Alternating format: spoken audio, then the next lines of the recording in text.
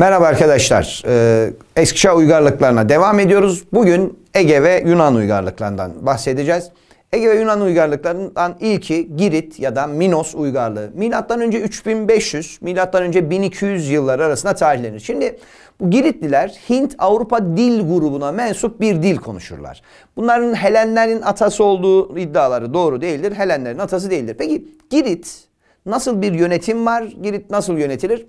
Burada çok fazla bilgimiz yok. Nasıl bir yönetim olduğuna dair çok fazla bir net bir bilgimiz yok ama bunların e, egemen olan bir görüşe göre saraylar döneminde Knisos'tan yönetildiğine dair bir bilgimiz var. Burada Minos adı verilen krallar dinsel gücü elinde bulundurduğundan aynı zamanda bir tanrı kral durumunda. Onun için yönetildiği yer Girit olduğu için Girit bu krallarından dolayı da Minos uygarlığı diye adlandırılır. Minos adı verilen kralları hem dinsel gücü de elinde bulundurduğu için tanrı kral konumundaydı dedik arkadaşlar. Şimdi Girit uygarlığında iki tane yazı tipi kullanılmıştır. Bunlardan birisi hieroglif dediğimiz resim yazısı. Bir diğeri de bir tür çivi yazısı olan linear A dediğimiz yazı tipini kullanmışlar. Peki e, Girit uygarlığında neye inanmışlar? Girit uygarlığında sevgili arkadaşlar doğa tanrılarına inanmışlar. Bu doğa tanrılarına inanan Giritliler saraylarında bulunan mabetlerinin, ibadethanelerinin dışında yüksek yerlere kurdukları Doruk tapınakları adını verdikleri e, tapınaklarda inşa etmişlerdir. Girit uygarlığı yaklaşık e, bu milattan önce 1200'lerde Ege göçleri dediğimiz o sırada Dorlar tarafından sonlandırılmıştır. Dorlar Girit ya da Minos uygarlığına milattan önce 1200 tarihinde son vermiştir sevgili arkadaşlar. Ee, bir diğer uygarlığımız Miken uygarlığı. Bu da milattan önce 2000, milattan önce 1200 yıllar arasında tarihlenir. Bu Miken uygarlığı farklı görüşler var. Miken uygarlığı bir görüşe göre Karadeniz'in kuzeyinden, diğer bir görüşe göre de doğudan, Anadolu'dan gelen ve eski Yunanca konuşan Hint-Avrupa kökenli Akadlar, e, pardon Akalar denilen e, kavmin istilası sonucu kurulmuştur. Akalar gelmiş, iki yolla geldiği söylenir. Birisi Karadeniz'in kuzeyinden, diğeri de doğudan, Anadolu'dan geldiği söylenir. Hint, Avrupa bir kavimdir bunlar. Eski Yunanca konuşurlar, Akalar ve gelmişler buraya Miken uygarlığı kurmuşlar. Akalar milattan önce 2000'lerde sevgili arkadaşlar Yunanistan'da büyük bir uygarlık kurmuşlar. Girit'le, Kıbrıs'la, Mezopotamya ile Anadolu'yla ne yapmışlar? Ticari ve kültürel ilişkiler kurmuşlar. Bu büyük uygarlığa neden Miken uygarlığı demişler. Bu büyük uygarlığın en güçlü temsil edildiği yer Miken şehri olduğundan dolayı bu uygarlık Miken uygarlığı diye adlandırılmıştır. Peki bunların en güçlü oldukları dönem önce 13. ve 14. yüzyıllardır. Miken uygarlığının en güçlü dönemi önce 13. ve 14. yüzyıllardır. Bu dönemde büyük saraylar inşa etmişler ve bu dönem kahramanlar dönemi diye adlandırılmış sevgili arkadaşlar. Bu döneme kahramanlar dönemi denilmiş. Miken uygarlığında her biri kendi saray ve kalesinde hüküm süren feodal bay, beyler var ve Miken uygarlığı bu feodal beyler tarafından yönetilmiştir. Her birinin kendi sarayı var, kaleleri var. Oralardan yönetmişler. Peki Homeros'un destanlarında yer bulmuş mu? Evet. Homeros'un destanlarında bu uygarlığın gerek siyasi gerek kültürel yapısıyla ilgili bilgiler mevcuttur. Gene her zaman olduğu gibi bunlar da Ege göçleriyle zayıflamış ve bu göçlerin son dalgası olan Dor istilası ile tamamen işte milattan önce 1200 1150 civarında e, sonlanmıştır. Burada da Akaların yani bu uygarlığı, Miken uygarlığını oluşturan Akaların siyasi tarihlerindeki en önemli unsurlardan biri Troyalılarla yaptıkları e, savaştır. Sevgili arkadaşlar günümüzde yapıldığı tarih kesin olarak bilinmiyor Troya Savaşı'nın. Bu Troya Savaşı Yunanistan'daki Akalar ile Anadolu'nun kuzey batı köşesindeki Troyalılar arasında olmuştur. Bu savaşın sebebi Troya kralının oğlu Paris'in Sparta kralı Menelaos'un karısı Helena'yı kaçırmasıyla başladığı söylenir. E, Troya Savaşı Homeros'un İlyada destanında da anlatılmaktadır. Ve bu savaşın yaklaşık e, 10 yıl sürdüğü biliniyor. İlyada destanından ve bu İlyada destanında bu savaşın son dönemi son 50 günü filan anlatılır sevgili arkadaşlar. Buradan da savaşın 10 yıl kadar sürdüğünü bu e, destandan biliyoruz.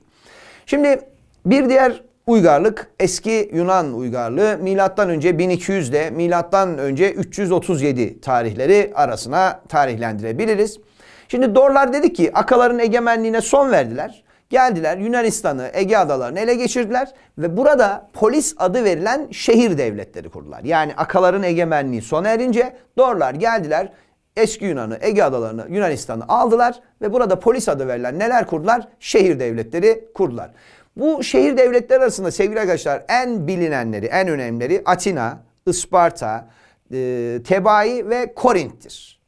Bunlar bu şehir devletleri gerek Atina gerek Isparta gerek Korint gerek Tebai bunlar önemli şehir devletleridir. Bunlar Perslerle uzun süre mücadele etmişler ve Ege'deki Yunanistan'daki Pers tehlikesini ne yapmışlardır? Ee, uzaklaştırmışlardır. Şehir devletlerinin başında başlangıçta krallar bulunurmuş. Fakat zamanla soylular güçlenmiş ve bu şehir devletleri e, soyluların eline geçmeye başlamış. Böylece aristokratik yönetimler kurulmaya başlamış sevgili arkadaşlar. Bu şehir devletleri zamanla ticaretle ve kolonicilikle zenginleşen zanaatkarlar, tüccarlar bu şehir devletlerine bir takım haklar talep etmişler. Buna halk da katılınca e, şehirlerde halk meclisleri kurulmaya başlamış. Yani önce dedik ki krallar yönetildi. Daha sonra aristokratik yönetimler oluşmaya başladı. Soylular yönetimi ele geçirdi. Bir müddet sonra zenginleşen işte bu zanaatkarlar vesaireler hak iddia etmeye başladılar. Halk da onları destekledi ve halk meclisleri kuruldu. Bu sevgili arkadaşlar şehir devletleri dedi ki Atina var, Isparta var, Korint var, Tebai var. Atina ve Isparta arasında e, 27 yıl süren Peloponnes savaşları yapılmıştır. Ve bu Peloponnes savaşları sonrasında bölgeye Ispartalılar hakim olmuş. Yani savaşı kazananlar Ispartalılar. Ispartalıların hakimiyeti ne zamana kadar sürmüş? İskender'in istilasına kadar sürmüştür. Daha sonra bölge İskender'in istilasına uğramıştır. Şimdi bu Yunanistan'daki şehir devletleri genellikle etrafı yüksek surlarla çevrili Akropolis diye adlandırılan tapınakların etrafında oluşmuştur. Akropolis. Bu yüksek yerlere yapılan etrafı kale ve surlarla çevrili tapınakların etrafında şehir devletleri. Tıpkı hatırlarsanız e, mesela şeyde Sümer uygarlığında da şehir devletleri, site denilen şehir devletleri ziggurat denilen tapınakların etrafında oluşuyordu ya. Burada da Yunanistan'da da Akropolis denilen tapınakların etrafında şehir devletleri oluşmuştur. Ayrıca Yunanistan'da, Yunan uygarlığında Agora adı verilen ve sitenin ticari, sosyal, siyasi işlerini görüşmek üzere vatandaşların toplandığı bir de kent meydanları oluşmuştur. Agora adı verilen kent meydanlarında da e, bu sitelerin, şey, polislerin e, siyasi, kültürel, sosyal ilişkileri halk tarafından ne yapılmış? E, görüşülmüş sevgili arkadaşlar. Eski Yunan uygarlığında hukuk alanında da önemli gelişmeler var. Hukuk alanındaki önemli gelişmelerden biri soyluların keyfi yönetimine karşı orta sınıfın lehine düzenlenen bir dragon yasaları var. Gene e, doğuştan ayrıcalıkları ve köleliği ortadan kaldırmaya yönelik Solon yasaları var. Ayrıca seçim sistemi ve idari yapı ile ilgili düzenlemeler içeren ve meclisin konumunu yükselten, e, sınıf farklılıklarını ortadan kaldırmaya yönelik bir takım düzenlemeler yapan Klistenes yasaları var. Demek ki Dragon, Solon ve Klistenes yasaları eski Yunan uygarlığındaki önemli hukuki düzenlemeler arasında yer alır sevgili arkadaşlar. Sevgili arkadaşlar çok tanrılı bir din anlayışı var Yunanistan'da ve Yunanistan'da tanrılarını antropomorf yani insan şeklinde tasvir ederler. Tanrılarının ölümsüz olduğuna inanırlar ve bu tanrıları için de törenler düzenlerler. Bu törenlerden bir tanesi milattan önce 776'da düz, Tanrı Zeus için düzenleneni ilk olimpiyat olarak kabul edilir. Hemen burada bir e, dipnot vereyim sevgili arkadaşlar. Osmanlı Devleti ilk olimpiyata ne zaman katılmıştır? 1912 Stockholm olimpiyatlarına katılmıştır. Bunu da burada belirtelim. İlk olimpiyat milattan önce 776'da Tanrı Zeus için düzenlenen tören ilk olimpiyat katıl olarak kabul edilmiş ve Osmanlı 1912 Stockholm olimpiyatlarına katılmıştır. Şimdi Yunanistan'da sevgili arkadaşlar tarıma elverişli topraklar az. Dolayısıyla Yunanistan'da halk geçimini nereden temin etmiş? Balıkçılıktan temin etmiş, zeytincilikten temin etmiş, hayvancılıktan temin etmişler. Ayrıca Yunanlar Ege ve Karadeniz kıyılarında e, kolonilerde kurmuşlardır. Ege ve Karadeniz kıyılarında deniz kolonileri de kurmuşlardır sevgili arkadaşlar. Peki e, nasıl bir yazıları var? Bunlar Fenike alfabesini geliştirmişler. Yeni bir alfabe oluşturmuşlar onun üzerine. Ayrıca tarih alanında, tıp alanında, astronomide, felsefe alanında da dünya uygarlığına çok önemli katkıları var ki e, oradan yetişen önemli bilginler arasında Sokrates'i, Eflatun'u, Aristo'yu sayabiliriz. Bunlar bile o alanlarda ne kadar gelişkin olduklarını bize kanıtıdır sevgili arkadaşlar. Evet, eski Yunan uygarlıklarından, Ege ve Yunan uygarlıklarından bahsettik. Girit dedik, Miken dedik, eski Yunan uygarlığı dedik. Sıra geldi Makedonya uygarlığına. Sevgili arkadaşlar Makedonya Yunanistan'ın kuzeyinde, Trakya'nın batısında, Balkanların da güneyinde yer alan bölgeye ne diyoruz? Makedonya diyoruz. Yunanistan'ın kuzeyi, Trakya'nın batısı, Balkanların da güney bölgesi Makedonya diye adlandırılır. Bu Makedonyalılar eski Yunanca'nın bir lehçesini konuşurlar. Ve kendilerini de ne diye adlandırırlar? Helen diye adlandırırlar. Eski Yunanca bir lehçe konuşuyorlar. Eski Yunanca'nın bir lehçesini ve kendilerini ne diye adlandırıyorlar? Helen diye adlandırıyorlar. Bu Makedonyaların ilk kralı, ilk Makedonya kralı Arheleos'tur. Arheleos'tur. Hakkında gerçek bilgilere sahip olunan ilk Makedonya kralı ise birinci Alexander'dır. Birinci, birinci Alexander hakkında ilk gerçek bilgilere sahip olduğumuz ama ilk Makedonya kralı da birinci Arha Arhelaos'tur. Sevgili arkadaşlar bunu da belirtmiş olalım. Milattan önce 359'da tahta çıkan 2. Filip Makedonya'yı askeri, siyasi, ekonomik anlamda oldukça güçlendirmiştir. Yani önemli bir atılım yapmıştır 2. Filip. Fakat çok genç sayılabilecek bir yaşta 46 yaşındayken kızı Kleopatra'nın düğününde bir suikast sonucu öldürülmüş. Onun yerine asıl Makedonya krallığını uçuracak adam gelmiş. Yani 3. Alexander. Namı diğer Büyük İskender. Büyük İskender tahta çıktıktan sonra Atina ve Tebai şehir devletlerinde ne yapmıştır sevgili arkadaşlar? Egemen olmuştur. O bölgeye de hakim olmuştur. İskender tabi e, babasının yerine ikinci Filip'in yerine tahta çıktı. Ne yaptı? önemli şehir devletlerini ele geçirdi. Büyük İskender Doğu seferine çıktı. Milattan önce 334 yılı ile son Helenistik krallık olan Ptolemelerin milattan önce 30'da tarih sahnesinden çekilişine kadar geçen dönem Helenistik dönem olarak adlandırılır. Yani İskender Doğu seferine çıkmış milattan önce 334 ve son e, Helenistik krallık Mısır'daki Ptolemelerin tarih sahnesinden çekildiği milattan önce 30 tarihi arasına ne diyoruz? Helenistik dönem diyoruz sevgili arkadaşlar. İskender Perslerle de mücadele etmiş. Perslerle İskender'in 3 savaşı var. İsos, Granikos ve Gaugamela savaşları.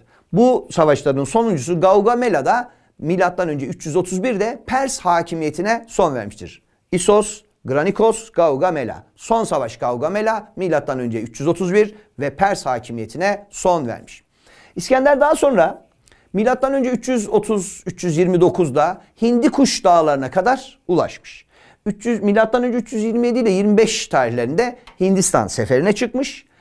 Daha sonra bu seferden döndükten sonra milattan önce 323 yılında Babil'de hayatını kaybetmiştir. Çok da uzun yaşamamış İskender ama e, dünyanın en büyük e, devletlerinden birine de sahip olmuştur. Sevgili arkadaşlar İskender'in ölümünden sonra onun topraklarında, onun devletinin topraklarında üç tane devlet kurulmuş. Bunlardan birisi Mısır'da Ptolemeler, Makedonya'da Antigonitler, Ön Asya ve Anadolu'da ise Selevkoslar adı verilen üç tane devlet kurulmuş.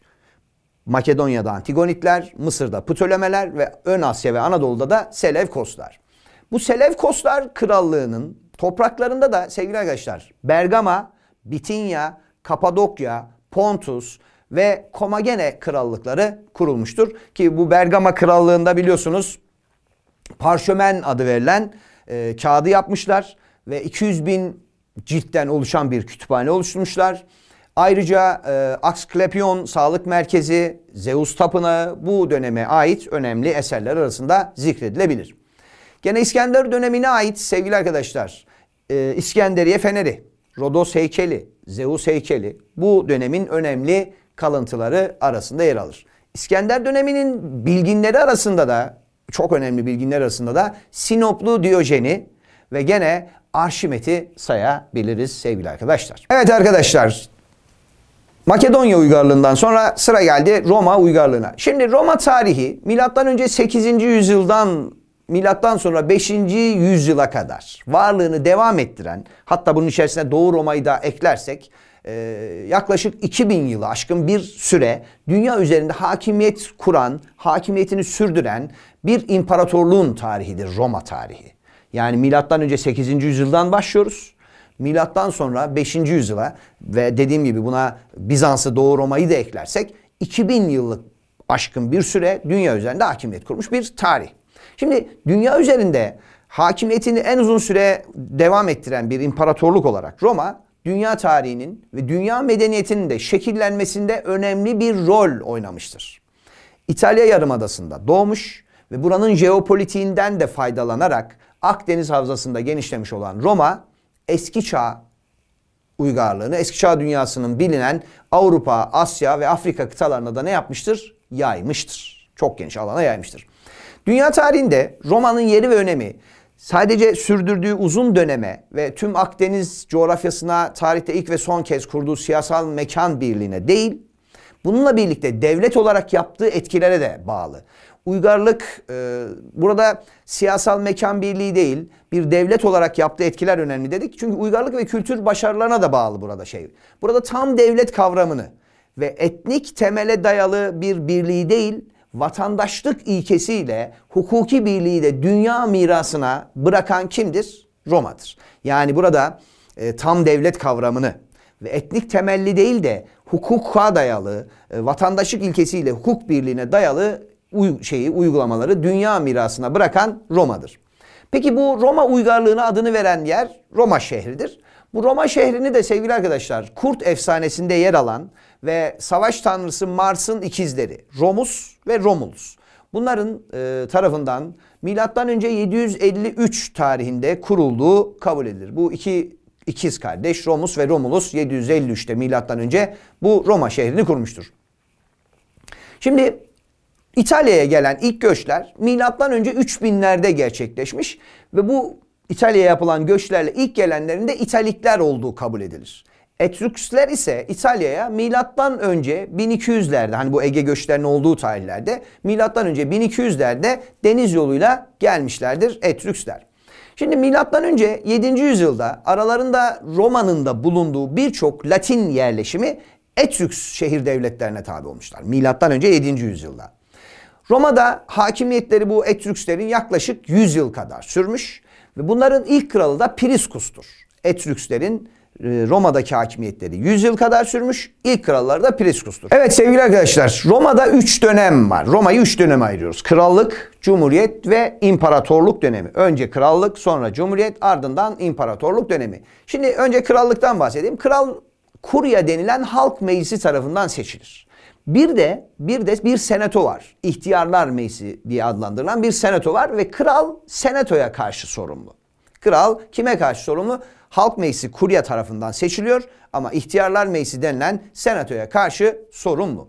Şimdi e, milattan önce 510 yılında Etrüks kökenli Targanius ailesi Roma'dan kovulmuş ve yeni bir anayasa hazırlanarak Cumhuriyet dönemine geçilmiştir. Cumhuriyet döneminde yetkiler e, bir yıllığına konsüllere verilmiş. Konsüller de hem birbirlerine hem de senatoya karşı sorumlu olmuşlardır.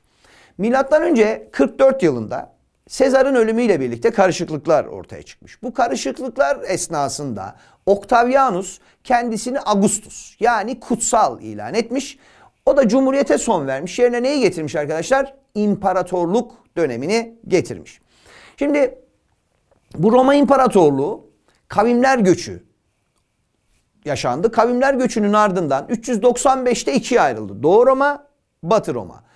Batı Roma 476 yılında tarih sahnesinden çekildi. 1453'te İstanbul'un fethine kadar Doğu Roma ya da diğer adıyla Bizans varlığını sürdürdü. O da 1453'te İstanbul'un fethiyle tarih sahnesinden çekildi. Dediğim gibi yani Bizans'ı da içine alırsanız 2000 yıllık bir süreçten bahsediyoruz Roma'da. Önce dedik krallık, sonra cumhuriyet, ardından da imparatorluk dönemi yaşanmış. Şimdi Roma'da halk nasıl e, sınıf farklılıkları var mı? Var. Roma'da halk patrisiler ve plebler bir de köleler olmak üzere sosyal sınıflar ayrılmıştır. Patrisiler bütün haklara sahip. Plebler ise siyasi haklardan mahrum, yoksun. Bu Partisipilep mücadeleleri sonucunda miras, aile, borç, ceza hukuku ağırlıklı olmak üzere 12 levha kanunları hazırlanmıştır sevgili arkadaşlar. Bu 12 levha kanunlarının hazırlanmasında en önemli etken patrisi ve pileplerin birbirleri olan mücadeleleri. Şimdi bu mücadelelerin sonunda plepler memur ve asker olma haklarını elde etmişlerdir. Ve bu e, mücadelenin sonunda hazırlanan bu 12 levha kanunları günümüz modern hukukunun da temelini oluşturur sevgili arkadaşlar. Günümüz modern hukukunun temelinde de bu Roma'daki 12 levha kanunlarının çok önemli bir yeri var. Şimdi Roma'da çok güçlü bir kara ordusu var ve donanma var. Ama Roma ordusunun temelini lejyon adı verilen paralı askerler oluşturmuştur. Roma ordusunun temelini lejyon adı verilen paralı askerler oluşturmuştur. Roma tarihinde de, az önce de söylemiştik, bir önceki videomuzda da söylemiştik. E, Kartacalılarla yani Tunus'taki Kartacalılarla Romalılar arasında e, Pön savaşları yapılmıştır. Bu Pön savaşları milattan önce 264 ile milattan önce 146 yılları arasında sürmüştür. 3 tane savaş yapılmıştır ve bu savaşların Pön savaşlarının ardından Romalılar Afrika eyaletini kurmuşlardır. Kartacalılarla yapılan bu Pön savaşlarının sonunda Romalılar Afrika eyaletini kurmuşlardır. Sevgili arkadaşlar Romalılar Anadolu'ya da tahıl ambarı gözüyle bakmışlar. Anadolu'yu tahıl ambarı olarak nitelendirmişler. Aynı zamanda e, deniz ticaretinde de gelişmişlerdir Romalılar. Şimdi bu Roma'da çok tanrılı bir pagan din anlayışı hakim. Bu çok tanrılı pagan din anlayışının hakim olduğu Roma'da 313 Milano fermanı ile sevgili arkadaşlar e, Hristiyanlık serbest bırakılmıştır. 313 Milano fermanı ile Hristiyanlık serbest bırakılmıştır. Biliyorsunuz Hristiyanlık dini 33 yılında Orta Doğu'da ortaya çıkmış bir dindir. 33 yılında ortaya çıkmış ama e, Roma'da kabul edilişi, serbest bırakılışı 313'teki bu Milano fermandır. Yani arada baya bir zaman var. Şimdi Roma İmparatorluğu'nda mimaride özellikle tapınak, sunak, hamam, saray, su kemeri oldukça ön plandadır. Kubbe, kemer önemli bir yer tutmuştur. Anadolu'da Roma dönemine ait birçok önemli eser var. Mesela Efes, Milet, Side, Bergama, e, Antalya, Aspendos antik tiyatroları bu döneme aittir. Gene Milet, Efes, Perge ve Ankara'daki Roma hamamları bu döneme aittir. Ee, gene İstanbul'da Bozdoğan, İstanbul Aspendos, e, İstanbul Bozdoğan ve ayrıca Aspendos su kemerleri de Roma dönemine ait önemli e, eserler arasında sayılabilir sevgili arkadaşlar. Evet bu dersimizde burada noktalıyoruz. Bir sonraki dersimizde Amerika uygarlıklarında görüşmek üzere. Hoşçakalın.